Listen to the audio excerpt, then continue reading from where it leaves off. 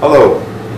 I set Smith Cast up after working in the realm of public art, working as a visual artist, sculptor for the last 20 plus years.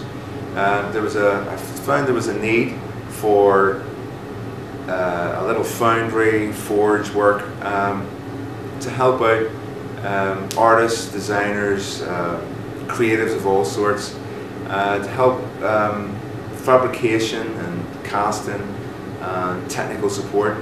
Uh, so I just decided to kind of set this up um, as a service in that way for that purpose.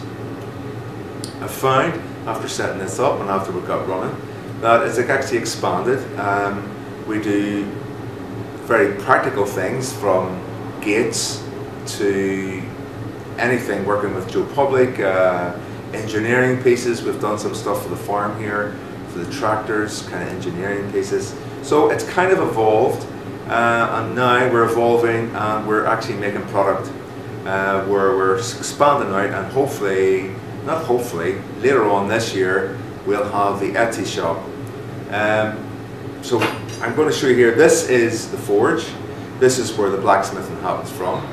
Uh, so I'll just demonstrate some of that, how that works. Um, maybe demonstrate making a little leaf for you here.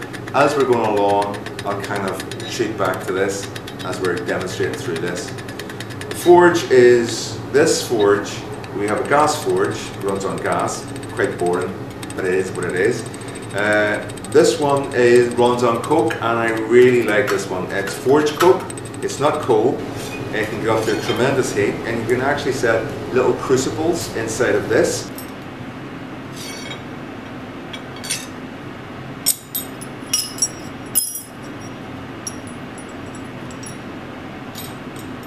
We're going to fire this up, show you it going, maybe do a pour. Actually we can go straight in. We're going to knock down a couple of these.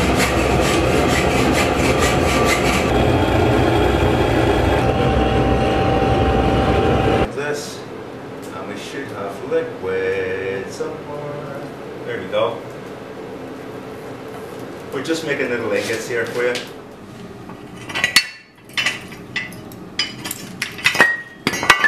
I you enjoyed yourself. Um, please check us out, our website, um, our Instagram. Uh, we do many posts on Instagram and don't forget to check out our Etsy shop, up and coming. Cheers folks, all the best.